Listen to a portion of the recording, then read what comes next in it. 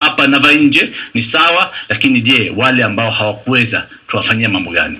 Inshallah karibuni tutakuja hapa tutazindua uh, mpango wetu ya mambo ya tashari. Twende kwenye ujumbe kupitia mtandao wa Facebook ambapo tunawasiliana na mada yetu ya siku kwenye ukuta wa Radio Salam ama Radio Salam Wall. Anasema Mamshi Jaradi kutoka kule Marekani, as a Minister of Tourism tunapata shida sana, haswa sisi tulioko Amerika. Kwa nini hakuna direct flights from US to Mombasa au yani Kenya eh, yani Kenya yani from US to Kenya, to Kenya ama Kenya to US? Jambo hili ni la kufuatilia, maana nafikiri utalii kwa hapo utazidi kufunguka. Alafu ujumbe mwingine hapo anasema Anasema mbona sisi tulioko Amerika badili ya kuandikwa, anasema kazi katika embassy zetu za Kenya huwa hatupati fursa hiyo, bali utasikia ni Mfilipino ndio wanaoandikwa kazi, au utaona watu wanaoletwa kutoka Kenya. Tena kwa kujuana. Je, hii si ni gharama? Mr Honorable Sa anauliza sana, asante.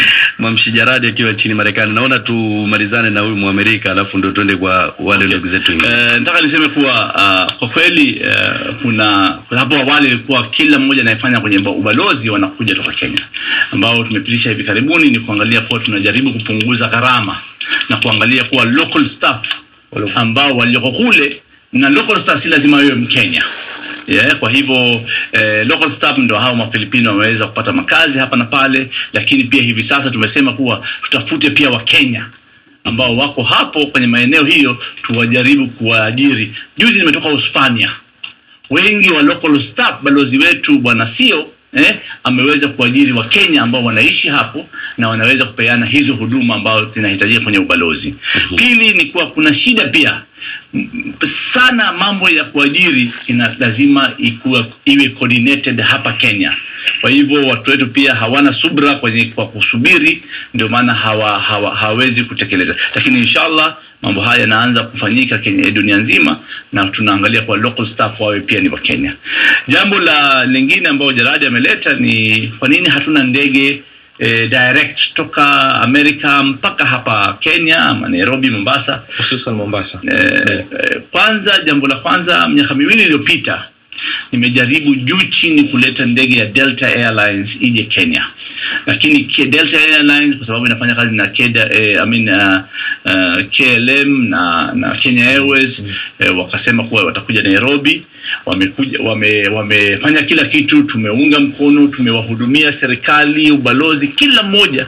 Hata mwaziri wetu alikuwa waziri Makwere juu ya mambo mawasiliano, alikuwa tayari yuko Atlanta kupanda ndege hiyo kuja hapa Kenya, lakini kwa sababu ni siasa, hata hizi mambo ya ndege ni siasa ya Kiamerika.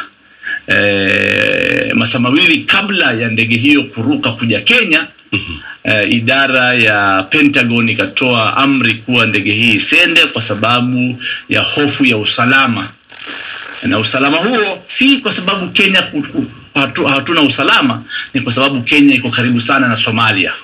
Nafikiri hizi ni hofu za Kiamerika juu ya mambo ya usalama, na wametukatisha sisi riziki yetu ama watu kuteremka, lakini hiyo ndio shida kubwa. Serikali ya Amerika ndio inapinga na haijaweza kutoa idhini ya shirika lolote kusafiri kuja hapa Kenya. Tumalizane na ma- waliotuma maswali kwenye mtandao wa Facebook. Anasema if somebody has finished secondary school how can she apply for scholarship with the CDF money? Minato la crazy ndivyo anavyouliza. scholarship zinakuwa kwa idara kwa idara ya ya elimu. Uh, sisi tutajaribu pesa zetu kama nilivyosema ni kidogo sana, tutajaribu vile tunavyoweza na tuweze ku, ku, kuwasaidia. Tupokee kama si mbili kabla ya kutamatisha kipindi. Halo Radio Salam. Halo. Halo, salamu. Salha Mohamed Kisauni. Naam, zamani haya mihadharati ilianza huko sehemu za majengo. Harakati ilipozidi huku wakakimbia wakaja huku Kisauni. Naam. Sasa huku sa harakati inaendelea, mihadharati nasikia yarudi majengo. Naam. Kwa hivyo ni merry go round. Sasa namwomba mheshimiwa wetu Naam. aweze kutuongoza sisi katika kuipetition serikali. Kuleta FBI ifanye uchunguzi wa kisawa sawa. Naam. Sisi tuko nyuma yake, organize sisi kina mama huku. Nina hakika mama wote ambao mwatusikia hapo, tuko tayari mkipitisha tuchukue personally juu ya vifua vyetu, tuzunguke na makaratasi tukikusanya masignature, tukukabidhi wewe mwenzetu, ndugu yetu, utupelekee mbele. Maana hili janga naona njia ya kumpiga ndio hapo juu, huku chini pazungu shefe wetu. Naam. Salaam. Asante sana. Nataka niseme kuwa mambo ya mihadarati haiwezi kuingia na nchi ikiwa hawana wakubwa. Tusidanganyane, na wakubwa ni kina sisi na hao wengine wa juu, na bandari wanaofanya biashara hapa wanaipitisha hapa hapa bandarini. Kwa hivyo hizi hati taarifa zimesema kuwa o, uh, mambo ya kufanya uh, uchunguzi. Wewe leo nenda mtaani kaulize fanya uchunguzi kwa watoto wadogo, watakwambia. Nenda kwenye watu wanaotumia mihadarati, watakwambia. husika ni kina nani Serikali ati yasema haina thibitisho. Kweli haina thibitisho, lakini kwa sababu hawataki kutafuta thibitisho. Ikiwa si Ahmed Bashir, atakuwa ni Balala au atakuwa ni Omar Abud. Eh, ni sisi kwa sisi tumo na twajua kitu gani kinachoendelea, lakini hii ni mbinu kama ulivyosema ya kugereshana merry go round Mm. sisi ikiwa ni majengo ikiwa ni, ni magodoroni Kisauni, mimi nitapinga mihadarati kokote. Watu wa Kisauni ni watu wangu pia eh? Hata ikiwa imetokea Nyeri, watu wa Nyeri pia ni watu wangu, watu wa majengo ni watu wangu. Sisemi kuwa mimi nitaanza kufanya kusafisha majengo na kuhamisha Kisauni, la, itakuwa mimi si kiongozi wa haki. Nataka nisafishe Kenya nzima kwa mambo ya mihadara, kwa sababu inatuharibia vijana wetu na mustakbal wetu utazoroteka ikiwa hatutatui mambo ya mihadarati. simu ya mwisho kabisa. Halo radio salam. Halo Angavu zimepiga chenga hapa. halo radio salam. Halo, naam haraka haraka swali lako wa mwisho naam waalaikum salam halo, naam nani huyu salamu alaikum. waalaikum salam waalaikum salam nani Nataka mheshimiwa atueleze kilio cha watu wa Makande. Halo, Haya, simu hiyo imepotea, tutafute nyingine. Halo, Halo, Radio Salam. Lakini naweza kujibu bado hiyo. kitu. Waalaikum salam. Umu Fahad Kibokoni. Naam. Fahad karibu. Mimi nilikuwa nataka kumuuliza mheshimiwa, Naam. ni kweli matamshi hata alitoa matamshi kuhusu sheria za vileo kusema- Ishajibiwa hilo, mama. Tuli- Nadhani fursa nadhani fursa zinapotea. Twende twende kwenye swali maanake ndo hiyo ni makini kusikiliza kipindi mwanzo mpaka mwisho ili uweze kujua mm -hmm. lipi limeulizwa lipi halijaulizwa nataka nikwambie wazi wazi, kwa sababu wanatia sumu kwenye kina mama no. kwa Balala ameunga mkono am- ama anapinga mambo mambo sheria mpya ya ulevi. Hmm.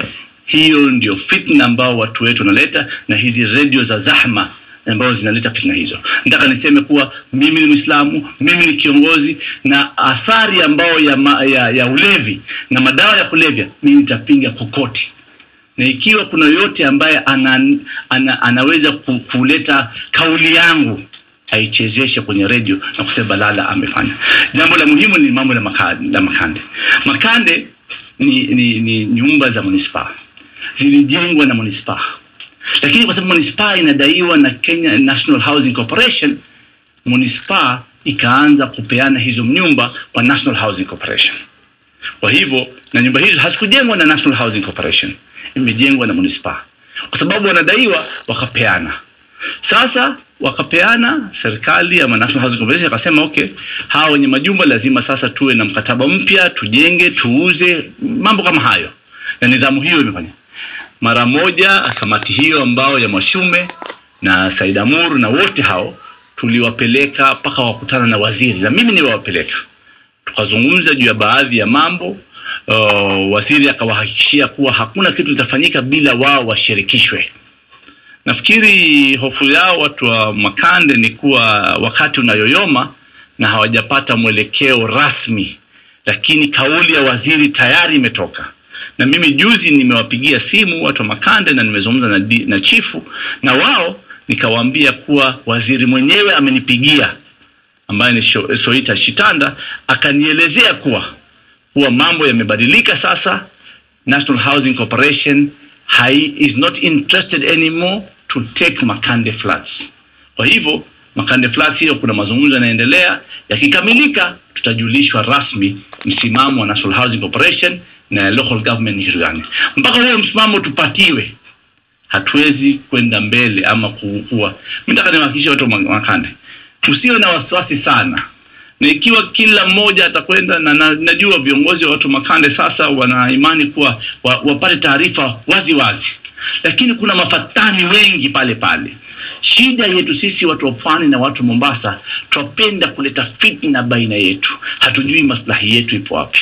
Ndio atakaye kusimama iwategwa, hategwi na mtu wa kando, iwategwa na mtu wetu wenyewe. Hizo ndio fitna, lazima zikome. Mwisho kabisa kumalizia, mheshimiwa, kwa maneno ya nusu dakika hivi na tutamatisha kipindi chetu. Nafikiri nitaka kuwashukuru Omar Abud na Ahmed Bashir kwa fursa hii nyingine, lakini msichelewe sana kuniita. Mimi niko tayari saa yoyote mkiniita. eh, la muhimu ni kuwa watu wetu, wananchi wetu wasikubali kuhadaiwa kwa uongo eh, na fabricated eh, information. La muhimu ni kuwa tuangalie njia gani tunajua nani kiongozi na nani anakuwa ni mtepeli wa fitina na porojo na uongo na matusi ambazo wanazieneza mitaani. Asanteni sana, lakini inshallah tuko pamoja, na mimi ni mtumishi wenu Najib Balala. Naam, tunashukuru sana sauti yake Mheshimiwa Najib Balala, waziri wa utalii na vile vile ni mbunge wa jimbo la Mvita. Matarajio ni kwamba hivi karibuni katika miezi hii ambayo inaikuja tutakuja kuzungumzia serikali zilizogatuliwa katika 90.7